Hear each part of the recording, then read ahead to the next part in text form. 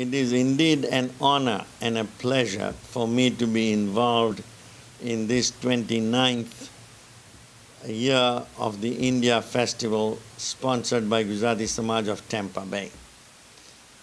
We are fortunate to be the pioneers in this area.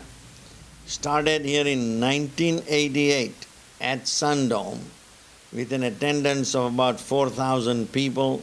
We have now grown to a attendance of over 15,000 people, 180 vendors, under the leadership of Vijay Gandhi and Jigisha Desai.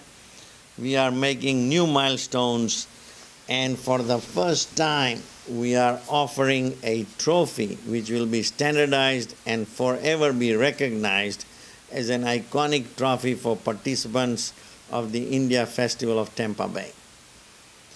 We have also established a new logo and new brand.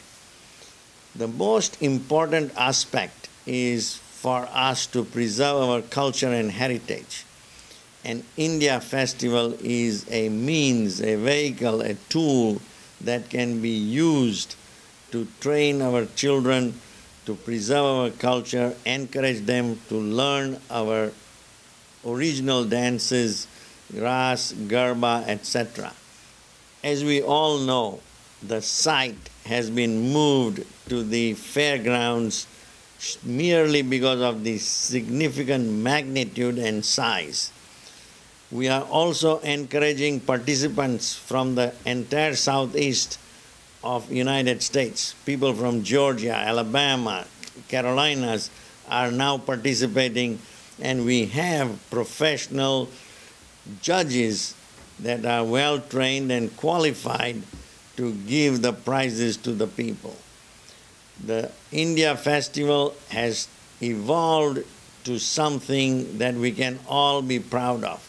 Tampa Bay citizens deserve all the credit for what we have achieved today, and it's the leadership of people like Vijay Gandhi that is taking it to the next level.